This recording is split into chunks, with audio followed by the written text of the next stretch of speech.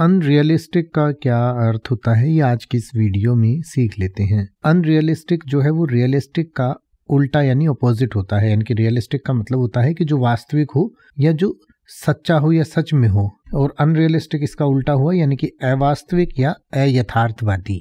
जैसे कि अगर आप ये कहना चाहें कि आपकी उम्मीदें अवास्तविक हैं तो आप कहेंगे you have unrealistic expectations you have unrealistic expectations या अगर आप ये कहना चाहें कि यह सोचना काफ़ी अवास्तविक है तो आप कहेंगे it's quite unrealistic to think of it's quite unrealistic to think of या अगर आप ये कहना चाहें कि यह मांग अवास्तविक और अव्यवहारिक सिद्ध हुई तो आप कहेंगे this demand proved unrealistic and unworkable this demand proved unrealistic and unworkable अब आप ऐसे ही किसी भी वर्ड का मतलब हिंदी और इंग्लिश में यूट्यूब पर सर्च कर सकते हैं। आपको मेरी वीडियो मिल जाएगी, जिसमें आप बिना किसी फालतू बकवास के सीधा उस वर्ड का मतलब समझ पाएँगे। तो ऐसी ही वीडियोस को देखते रहने के लिए चैनल को सब्सक्राइब करें और बेल आइकन को प्रेस करें।